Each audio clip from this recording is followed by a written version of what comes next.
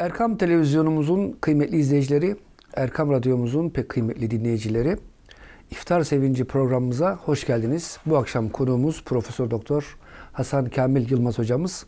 Kendisi İstanbul Sabahattin Zaim Üniversitesi İslami İlimler Fakültesi dekanı. Benim de yüksek lisans, lisans, doktora her dönemde hocam olmuştur. Hocam sizi bugün akşam burada ağırlamak ne güzel, hoş geldiniz. Estağfurullah, teşekkür ederim Süleyman'cığım. Ee, yani biz sizden işte biraz erken dünyaya gelmişiz. Yoksa arkadaşız, dostuz, beraberiz. Estağfurullah hocam. Ee, eksik olmayın. Ee, Cenab-ı Hak e, birlikteliklerimizi rızasına muvaffak etsin. Önemli olan. Amin hocam. Hocam çok güzel bir e, böyle iftar akşamındayız. E, zaten tasavvufta açlık, az yeme, e, oruç tutma, nefsi yenmenin e, en önemli metotlarından birisidir. Hocam bu manada oruç nefis terbiyesi açısından önemi nedir? Evet, e, şimdi efendim tabii e, insan nefsinin e, hevası insan üzerinde egemenlik kurmaya çok yatkın. Eferayte men ittehade ilahehu hevahu diye Kur'an-ı Kerim'de iki tane ayet-i kerime var. Allah Teala Hazretleri buyuruyor Efendimiz'e hitaben. Sen nefsinin hevasını, nefsani duygularını putlaştıranı, tanrılaştıranı gördün mü Habibim diyor. Yani insanoğlunun e, nefsani duygularında, hevasında bir ego, bir benlik, bir nefsani tavır hiç şüphesiz vardır. E, bunun da tedavi edilmesi, terbiye edilmesinin yol ve yönteminin işte e, bizim İslami gelenekte, tasavvufi ananede e, önemli unsurlarından birisi e, elcu dedikleri açlık ya da e, kılle-i taam denilen az yemek ya da bir başka ifadeyle oruca devamdır. Yani çünkü insan nefsini e, en çok azgınlaştıran, önüne geçilmesini engelleyen e, e, fonksiyonlardan birisi, özelliklerden birisi insandaki e, karnının tok olmasıdır diye tanımlanmıştır e, irfan geleneğinde. Hatta e, bazı e, ariflerimiz e, Firavun, Karun ve benzeri tarihe geçmiş böyle nefsaniyetleri öne çıkmış e, nefsani kimlikleriyle tanrılık iddiasına kalkışmış olan insanların da e, ac olsalardı, açlıkla terbiye edilselerdi bu duyguları bu kadar depreşmezdi şeklinde değerlendirmelerini görüyoruz ki bu insanın e, tokluk e, sayesinde nasıl gözünün başkasını görmeyeceğini ifade ediyor. Bizim dilimizde de yani bunu anlatan güzel e, deyimler, sözler var. E, ne derler? E, tokun açtan haber olmaz derler. Yani bir insanın e, acın ne çektiğini, açlığın ne demek olduğunu, onun sıkıntılarını empati yapabilmesi için kendisini de biraz açlık duygusu yaşaması lazım. Aslında tam da e, oruçta bu zemine oturuyor. Yani e, elbette e, orucu emreden ilahi emir bize onun ana hedefinin leallekum tettekun ifadesiyle takvaya ermek olduğunu anlatıyor. Yani oruç evet e, belli zaman zarfında işte e, imsak vaktinden iftar vaktine kadar olan sürede yemek içmekten ve evlilik münasebetlerinden uzak kalmak diye tanımlanıyor fıkhi bakımdan e, baktığınız zaman. Ama onun e, sonundaki leallekum tettekun yani insan üzerinde meydana getirdiği tesirin, icra ettiği önemli e, anlam ve değerin e, takvaya ermek gibi bir özelliğe sahip olduğunu görüyoruz ki demek ki oruç e, orucun ruhu takva aslında. Yani insanı takvaya erdirici bir özellikle onun yerine getirilmesi. İşte bu nefsani e, duyguların kırılması da yine e, açlık ve oruçla mümkün oluyor. Hakikaten e, oruç tuttuğu zaman insan e, o açlığın yüreğimize değdiği, canımızı yaktığı veya işte bileyim hakikaten hissettiğimiz zamanlarda e, düşünüyoruz ki hakikaten açlık çeken insanlar var ve bu açlık çeken insanların halleri nicedir hatırımıza geliyor. Değilse tok olduğumuz zamanlarda buna empati kurmamız ve kendimizi onların yerine koyarak düşünmemiz mümkün değil. Allah Teala herhalde biraz da bunun için hem bize e, kendi e, ihsan ettiği nimetlerden bir süreliğine mahrum bırakarak o nimetlerin kadri kıymetini bilmemizi istiyor.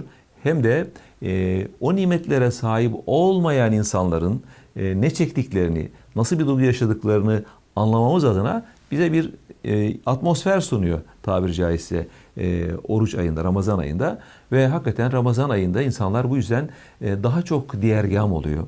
Daha çok ikram etmeyi seviyor. Çünkü e, acı olan insanların çektiklerini hissettiği için yani infak etmek istiyor, iftar vermek istiyor, e, efendim sofra kurmak istiyor veya en azından maddi olarak e, imkanı dar olan insanlara vermek istiyor. Hatta mesela zekat farizası Ramazana münasır bir ibadet değildir bizde. Yani zekatın şartları bellidir. Havli havelen şartı vardır. Yani e, insan ne bileyim senenin 365 günden birinde e, işte nisap miktarı mala bali olmuştur serveti. E, o da işte 80 gram altın olarak kabul ediliyor bugün. O 80 gram altına bali olduğu zaman serveti onun üzerinden 354 günlük kameri takvim geçtiği andan itibaren o zekat mükellefidir. Ve o gün hemen o zekatı vermesi iktiza eder. Ee, yani üzerine farz olur. Ama o gün değil de genellikle bizim insanlarımız bunu Ramazan'da vermeyi tercih ediyor.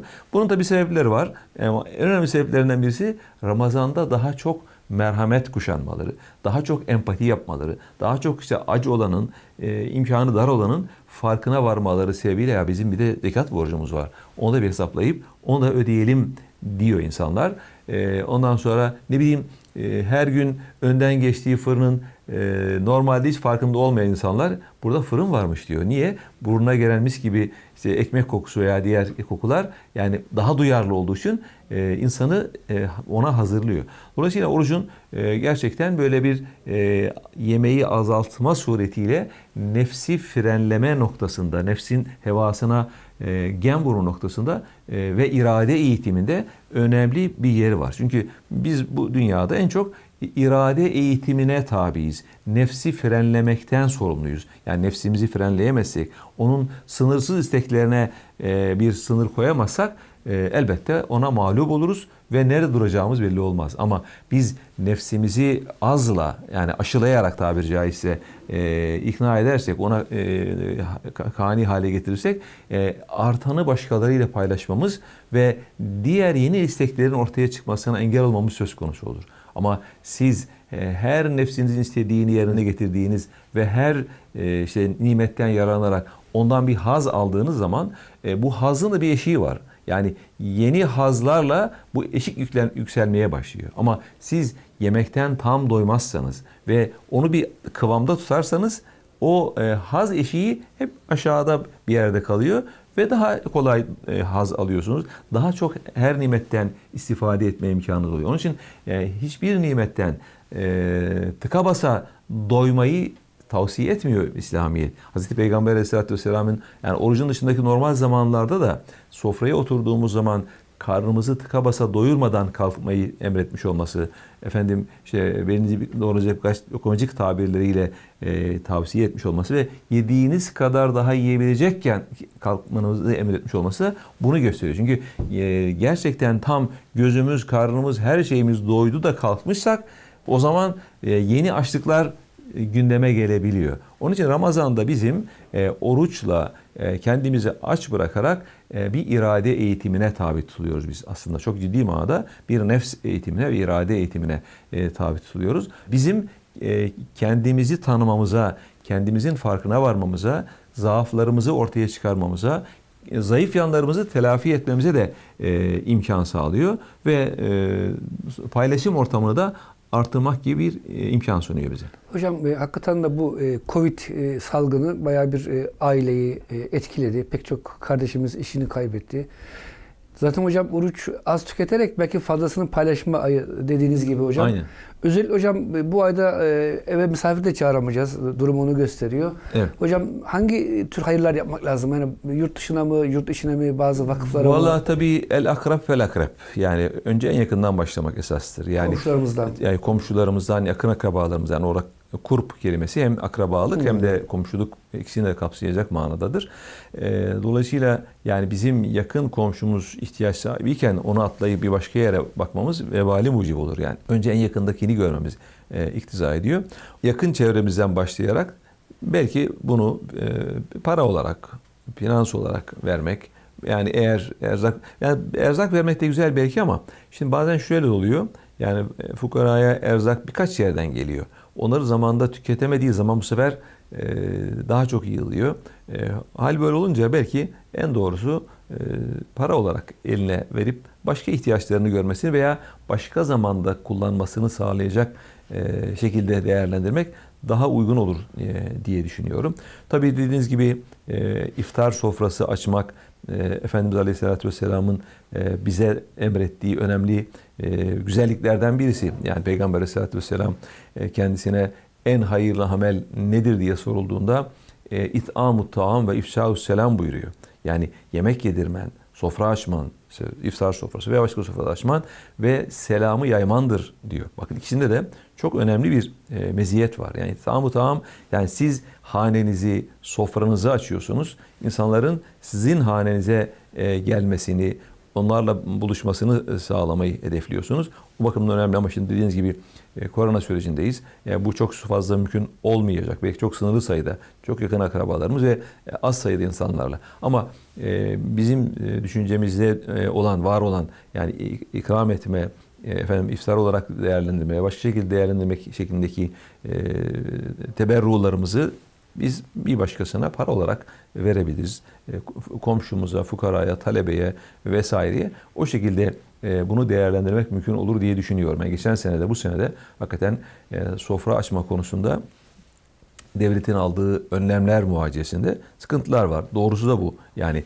devlet de bunu herhalde e, millete kadir olsun diye yapmıyor. O da yani e, bu e, pandemiyi önlemek, yani insanların daha sağlıklı şekilde Ramazan'ı ya da diğer zamanlarını geçirerek e, hayatın devam etmesini sağlamak için bu tedbirleri alıyor. Yani biz bu tedbirlere uymakla yükümlüyüz. Yani e, çünkü asıl olan önce canın korunmasıdır. Yani biz önce canı koruyacağız, kendi canımızı koruyacağız, insanların canını koruyacağız. Yani diğer e, vazifeler ondan sonra Can olmadan hiçbirisi olmuyor. Yani dinin korunması da canın korunmasına bağlı, neslin korunması da canın korunmasına bağlı, malın korunması da e, ona bağlı, aklın korunması da ona bağlı. Yani asıl olan e, hıfzun nefs, yani canın korunması hadisesi. E, dolayısıyla yani biz kendi canımızı, komşularımızın, akrabalarımızın, insanların canlarını koruyacak e, adımlar atmak ve bunları yapmakla yükümlüyüz. Normal süreçlerde iftar vermek, sofra açmak canın korunması adına önemli bir adımdı. Ama şimdi açmamak önemli bir adım. Yani insanları çağırıp çok fazla sayıda insanı bir yere getirmemek belki hıfzun nefs için e, yani nefsi korumak, canı korumak için e, önemli bir adım. E, onun yerine biz nakdi olarak bunları kendi memleketimizde ve Suriye var hemen burnumuzun dibinde. Orada işte İdlib'de, Azez'de ve başka yerlerde Türk askerinin, Türk insanının, Diyanet Vakfı'nın, Hüdayi Vakfı'na bir diğer sivil toplum kuruluşlarının gerçekleştirdiği hizmetler var. Yani o hizmetlere katkı vererek de yardımcı olabiliriz. Ve zaten dediğiniz gibi yani bu pandemi sürecinde işini kaybeden, e, efendime söyleyeyim maaşını e, alamayan pek çok e, kardeşimiz, komşumuz, dostlarımız var.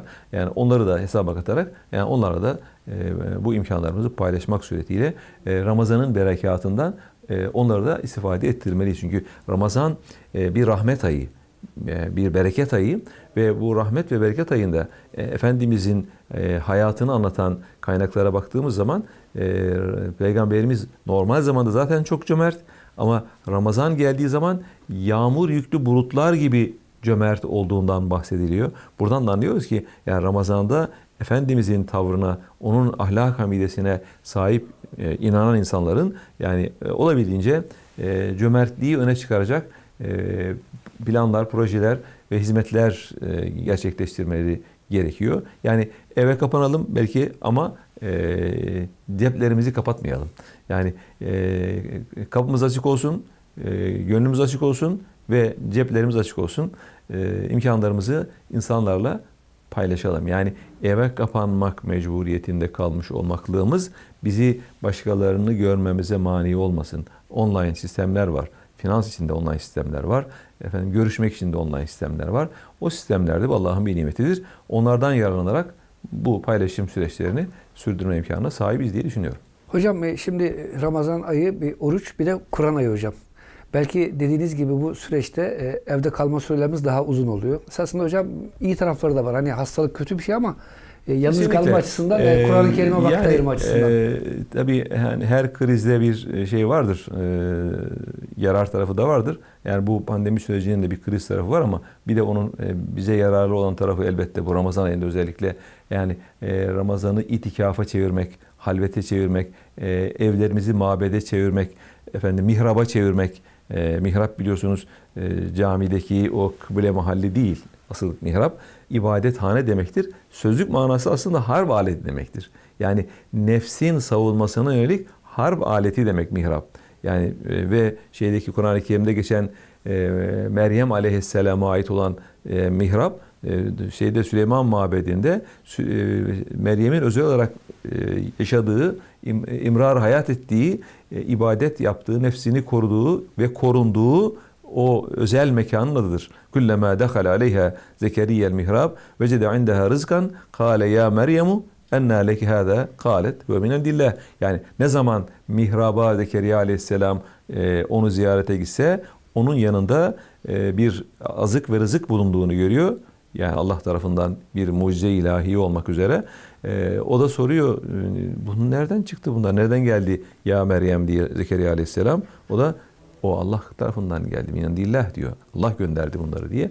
Yani o mihrapta korunan Meryem aleyhisselam gibi yani bizim de evlerimiz korunaklı hale gelip hem e, koronadan korunaklı hale gelsin hem de bizim nefsimizi koruyacak korunaklı hale gelip e, aile efertlerimizle birlikte e, efendim e, soframızda e, onlarla beraber e, ama e, işte birlikte kitap okuyarak Kur'an-ı Kerim okuyarak meal e, ve tefsirden onlara ders yaparak yani bu bir aylık Ramazan orucunu hem e, nefsimizi ıslah irademizi güçlendirmek adına hem de Kur'an'la biraz daha bütünleşmek e, adına önemli bir adım e, olduğunu düşünüyorum ve geçen sene de hakikaten çok bereketli bir Ramazan idrak etmiştik bu şey vesilesiyle, korona vesilesiyle evlerde kalmıştı ama yani bunu bu mecburi bulunuşumuzu fırsata çevirmeliyiz bence. Yani bu artık bir mecburiyet diyerek oraya kahretmek ve kerhen bulunmak yerine yani hakikaten bu bir iyi bir imkan oldu. Çocuklarımıza daha çok zaman ayıralım. Onlarla birlikte olalım. Onlarla birlikte işte Kur'an okuyalım. Onlarla bir sohbet edelim. Kitap takip edelim. Şeklindeki imkanları değerlendirmek lazım diye düşünüyorum. Sanki hocam yani bu e, dönemler aile için e, bir bereket oldu. Ailemize, çocuklarımıza, eşlerimize vakit ayırma açısından. Belki hocam bir odamızı mihrap yapıp sizin e, tabirinizle mescit yapıp orada cemaatle namazları da kılmak Tabii, mümkün olursa e, daha da güzel olur herhalde. Zaten hani e, itikaf diye bizim bir e, sünnet-i kifayemiz var. Yani biliyorsunuz bir farz-ı kifaye var bir sünnet-i kifaye var. Farz-ı kifaye malum cenaze namazı. Sünnet-i kifayede e, beş vakit namaz ve özellikle cuma namazının kılındığı cami mescitlerde erkeklerin e, itikafa girmesi Ramazan'ın son 10 gününde. Şimdi camiler kapalı olduğu için e, bu itikaf hanelerde gerçekleştirilebilir. Şimdi efendim tabi yani itikaf e, Kur'an-ı Kerim'de böyle akifin diye de geçiyor. E, Kabe-i Muazzama'nın ibadetine devam eden insanlar manasına. Hazreti Peygamber Aleyhisselatü Vesselam da Medine döneminde her Ramazan'da son 10 gün girdiği bir sünnet bu. Bir de Kur'an-ı Kerim'i Cibril ile mukabele ettikleri bir yer.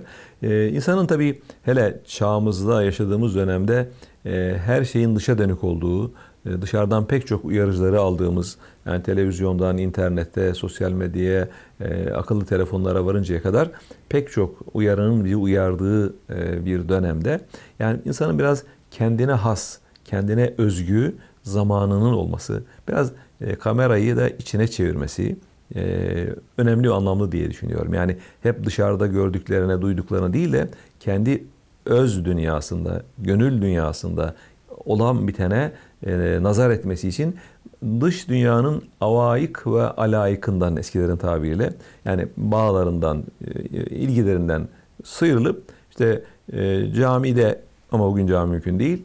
Öyleyse evimizde, hanemizde yani bir mescit ittihaz ettiğimiz e, odada e, bu itikafı gerçekleştirebiliriz.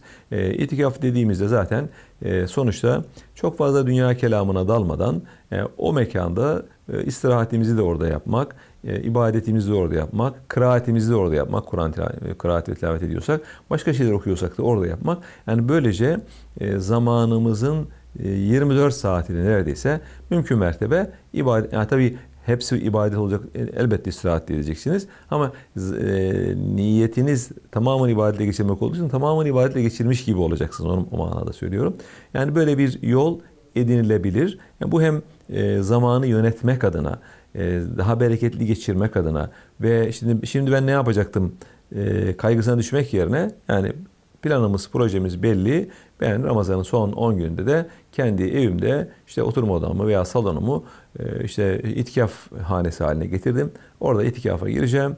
E, orada işte tesbihatımı, evradımı, Kur'an tilavetimi e, yorulduğum zaman da şöyle hafif kıvrılıp istirahatime bakacağım. Ama çocuklarımı da namazı cemaatle kılacağım. Onlar gelecekler benim arkama bana uyacaklar. Ben de onlara namazı kıldıracağım. Namazdan sonra onlara belki 3-5 cümle bir şey söyleyeceğim. Yani bu suretle yani evdeki bulunmuşluğu, bulunmuşluğu kara çevirmek ve hem itikaf yapmak hem onların gönül dünyalarına dokunacak bir şeyler yapabilmek önemli bir şey. Tabii mühim olan orada dünya kelamı konuşmamak, dünyevi meselelere dalmamak. Yani uhrevi, e, İslami, insani şeyler söylenebilir, konuşulabilir. E, efendim e, onda bir mahsur yok ve sınırlı e, olmak şartıyla bunların da yapılması mümkün. E, dolayısıyla e, itikaf ibadetini ben önemsiyorum. Çünkü bizim e, geleneğimizde hatta peygamberlerin geleneğinde onu kastederek söylüyoruz geleneğimiz diye yani e, Musa Aleyhisselam'ın ve vaadna Musa selasine leyleten ve etmemnaha bi aşr e, ayeti kerimelerinde anlatıldığı üzere bir 30 gün hakkı randevusu var. Arkasından bir 10 daha ilave edilip e, o 40'a tamamlanıyor ve orada e, Musa Aleyhisselam Cenab-ı Hak ile mülaki oluyor. Oradan elvah dediğimiz levhalar halinde Tevrat'ı alıp öyle dönüyor. Bu 40 günlük bir süre. Yani Hazreti Peygamber Aleyhisselatü Vesselam'ın da peygamberlik öncesi süreçte e, hubbe ileyhil halâ e, diye yani ona yalnızlık sevrildi, e, sevdirildi diye anlatılan e, Bedül Vah isimli hadis kitaplarının e, ilk bölümlerinde Buhari'de özellikle e, bir hadise var. Yani o yalnızlık ve e, tek başına kalıp Rabbi ile baş başa olmak. İşte özellikle Hira mağarasından hem gecenin e, derinliğinde semayı e, ve Kabe-i Muazzama'yı seyrederek yani bir tefekkür ve tezekkür ibadeti yaşadığını, bir tahannüste bulunduğunu hadislerde görüyoruz. Dolayısıyla Hazreti Peygamber'in de böyle bir süreci olduğunu biliyoruz. Şeyin de var. Musa Aleyhisselam da Kur'an-ı Kerim'de geçiyor.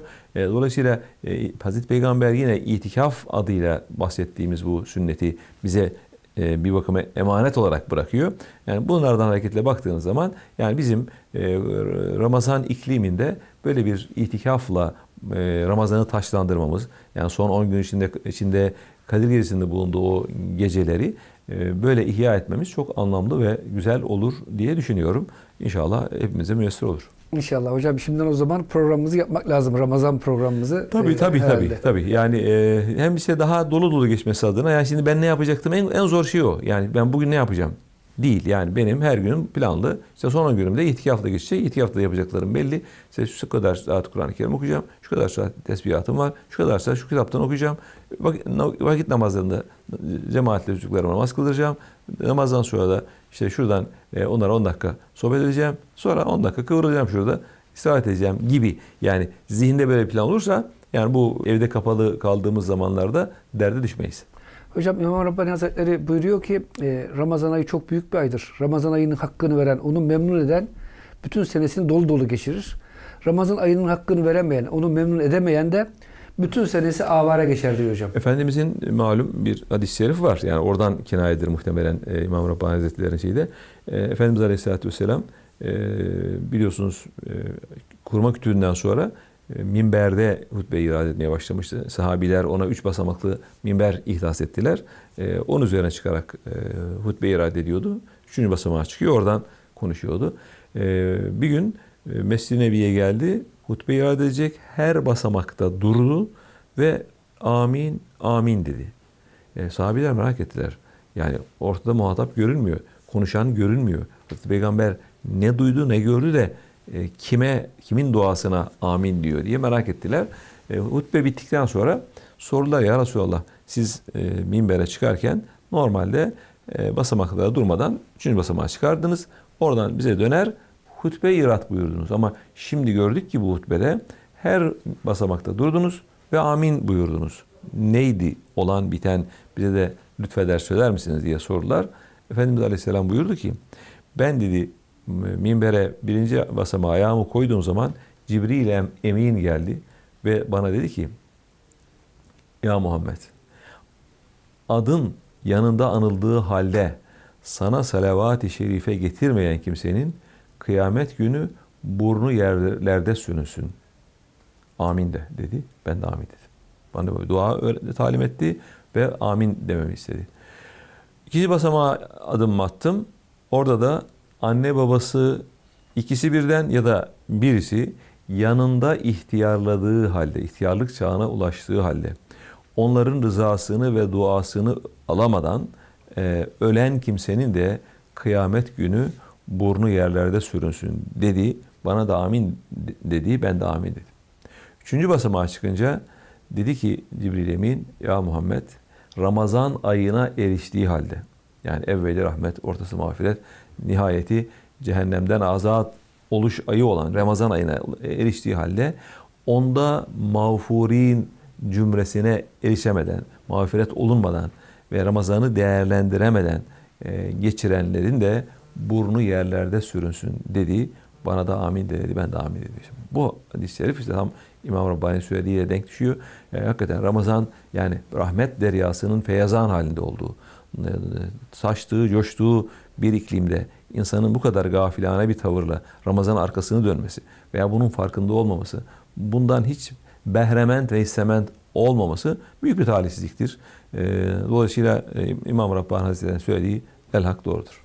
Hocam bir de şöyle bir şey var. Şimdi sanki hocam e, tasavvufta Ramazan'ı bütün seneye yaymak var. Tabii ki Ramazan'ın bereketi olmaz Ramazan dışında ama evet. şimdi Ramazan'da sahur var, diğer zamanlarda seherimiz var. Evet. Hocam bu seher disiplini de belki gündeme getirmek lazım. Zaten kalkıyoruz. Eyvallah sahura. tabii tabii. Ee, şimdi e, seher e, kelimesi e, biliyorsunuz e, gecenin son e, üçte biri için kullanılan bir tabirdir Arapçada. E, ha ile yazılır. Sehar. Bir de seher var. He, gözlü he ile yazılan. O uksuzluk demek. Buradaki sehardır. E, eshar diye çoğul halinde Kur'an-ı Kerim'de iki yerde yaklaşık e, lafızlar farklı ama mana aynı. Seher vakitlerinde istiğfar edenler el müstağfirine bil esar ve bil esari hum yestağfirun. E, ayet-i kerimesinde iki yerde böyle geçiyor. Şimdi burada anlıyoruz ki seher vaktinde kalkmak erken saatlerde sabah namazının öncesinde uyanık olmak, istiğfar ile meşgul olmak, e, kıbleye yönelmek, sabah namazına hazırlık yapmak, Kur'an okumak ya da başka bir şeylerle meşgul olmak e, sizin de ifade ettiğiniz seheriliktir. Seher zevkine, e, hazına düşkünlüktür. Çünkü seher vaktinin kalbin dinginliği, gönlün açıklığı, berraklığı bakımından da önemli bir yeri olduğu e, Ya yuhel müzzemmil ayet-i kerimesinde de ifade ediliyor. Ya yuhel müzzemmil kumul leyl diye başlayan ayet-i kerimede inne nâşiyetel leylihi eşeddu vat'an ve akva mukhîle. Yani geceleyin özellikle o işte gecenin son üçte bir kısmında e, idrakin, kalkışın daha dingin, daha anlayışın ve ezberlemenin ve sözün daha müessir olacağına dair ayette işaretler de var. Hal böyle olunca yani gece programını bence akşam yatsı yıkıldıktan sonra yatıp seher vaktinde e, kalkacak şekilde planlamak e, çok daha akıllıca bir iştir. Çünkü e, güneş ışınlarının e, tesiri bakımından da akşam hemen yatsı mütakip e, uyku insanı daha dinlendirici oluyormuş. Sabah namazından sonraki uyku ise onun kadar dinlendirici olmuyor. O yüzden mümkün mertebe erken yatıp seher vaktinde kalkmak Ramazanın dışındaki zamanlarda da herhalde hem sağlık açısından hem manevi sağlık açısından hem bedeni sağlık açısından hem manevi sağlık açısından e, önemli. E, sonra bir de e, teheccüd namazı e, Hazreti Peygamber Aleyhisselatü Vesselam'a vacip hükmündedir. E, fazladan bir teheccüd namazı kıl diye Cenab-ı Hak Peygamberimize emrediyor. Peygamberimize bu vacip hükmündeydi. Müslümanlara da ondan sonra gelecek Müslümanlara da e, müekket sünnettir. E, dolayısıyla teheccüd namazına kalkmak sabah namazından önce o namazı kılmak, ondan sonra istiğfarla meşgul olmak, e, ibadet, taat, hizb okumak e, ve benzeri manevi vazifelerle meşgul olmak gerçekten ciddi bir uyanıklık imkanı sunmaktadır inanan insanlara. Yani o bakımdan e, Ramazan'ın dışındaki zamanlarda kazanılan bu güzel seher vaktinde kalkma, sahur vaktinde uyanık olma geleneğini e, Ramazan'ın dışına taşımak e, 365 günü Ramazan gibi idrak etmek manasına da gelir aynı zamanda. Hocam sanki e, Ramazan ayı hani sporcular böyle zaman zaman kamplara girip eğitim alıyorlar. E, bizim de Müslümanlar için hocam manevi eğitim e, evet, zamanı tabii, gibi. bir kondisyon yükseltme zamanı gibi sanki. Dediğiniz güzel bir teşbih oldu. Yani futbolcuların yani onlar da tam işte dış avaik ve alayıktan soyutlanıp e, soyutlanıp e, kendi işlerine yoğunlaşıyorlar. Hangi alanda yapıyorlarsa sporlarını. E, Müslüman da yani diğer meşgalelerini azaltıyor. Daha çok ibadet, oruç, taat, Kur'an gibi yani gönül dünyasını imar ve inşa edecek olan e, ibadetlere ve amellere kendisini hasrediyor. Bu da tabii ister istemez e, o manevi kondisyonu e, yükselten bir e, ortam sunuyor ona.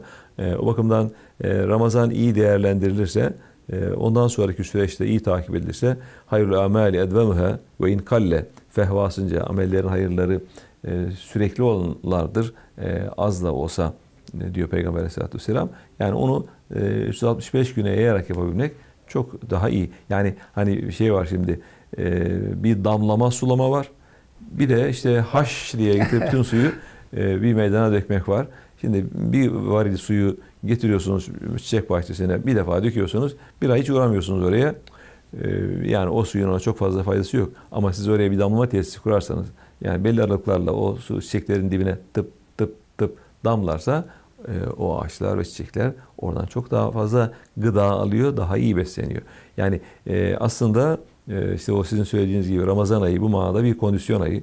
Kondisyonumuzu toparladıktan sonra bundan sonraki süreçlerde de o damlamayla az da olsa ibadetlerimiz yani nafile ibadetler, farz ibadetler, vacip ibadetlerle sürekli hale geldiği zaman e, bir yıl boyunca gerçekten güzel bir kıvam kazanılmış olur diye düşünüyorum. Hocam şimdi e, Ramazan'da işte Kur'an'dan bahsettik. E, hakikaten açlığın getirdiği o manevi zevklerden bahsettik. Hocam normal zamanlarda açlık insana mesela gadap, kızgınlık verebilir. Bu ayda hocam herkes mülayimet sahibi oluyor. Hocam suç şey oranları düşüyor bütün İslam ülkelerinde.